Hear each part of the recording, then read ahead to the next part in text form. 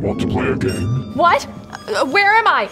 Your ankles are chained to the table. You must find the key within this putty in order to escape. You have 30 seconds before this bucket of deadly acid. Found it. What? This is actually pretty fun. No, it's not. Are these little veggies? Oh, so adorable. Vegetables aren't cute. They're they're gross. All right, next time I get to make the putty. No, it was so close. Create a game of your own with the Mixed by Me Hide Inside Putty Kit. Choose a theme for your mix. Pour your pieces into one of the three tins of clear putty, then add six pieces of a different theme to find later. Mix it all together, personalize your creation, and search through your putty to find the special pieces hidden inside. Begin your search at Vat19.com.